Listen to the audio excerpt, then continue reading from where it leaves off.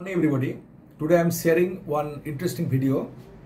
In case of one year, eight months child, how I'll remove the adenoid tissue with the coblation evac wand and total completion how from upper pole to lower pole, lateral border, everything I completed. From upper pole uh, basis sphenoid to uh, lower pole, Passavant's ridge and uh, fossa to fossa and anterior boundary to posterior buccopharyngeal fossa, everything shown. Please see the video, definitely you will enjoy how movement will started. And uh, my coblation wand setting is the 9-5. And you see how I removed every bits of tissue, my wand, definitely you will enjoy.